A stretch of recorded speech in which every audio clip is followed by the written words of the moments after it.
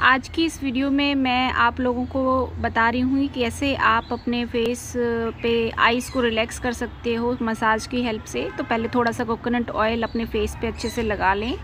और उसके लगाने के बाद जिस तरह से स्टेप्स मैं बता रही हूँ उन स्टेप्स को आप अपने फोर हेड के ऊपर और अपने आइज़ के अराउंड है मसाज करें फॉलो करें। तो इससे आपको बहुत सारे बेनिफिट होने हैं। जो भी फोर हेड पर फाइन लाइन्स और रिंकल्स हैं वो आपकी हट जाएँगी। और अगर आई आपकी ड्रूप कर रही हैं तो आई के अराउंड जो ड्रूपिंग है वो ख़त्म हो जाएँगी। और अंडर आई बैग्स हैं और वाटर रिटेंशन जो अंडर आई बैग्स में बना हुआ है तो वो वाटर रिटेंशन जो है वो आ, कम हो जाएगा और आपका जो ब्लड सर्कुलेशन है, आपके फोर हेड स्किन में वो बढ़ जाएगा।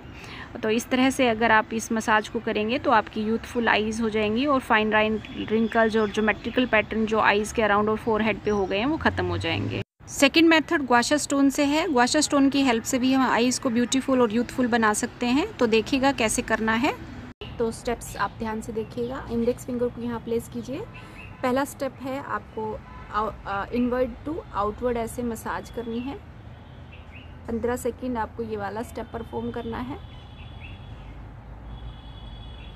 अगले पंद्रह सेकेंड में आप इसी यहाँ सेंटर में रख के कॉर्नर पे प्रेस करते हुए हाफ़ अपर सेंटर ऐसे लेके आएँगे। 15 सेकेंड्स आपका ये वाला स्टेप होगा।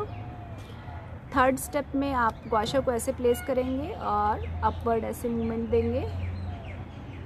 ये 15 सेकेंड्स और लास्ट स्टेप में आप गुआशा को ऐसे प्लेस करेंगे और ऐसे अपवर्ड ले जाके और लेके जाएँगे।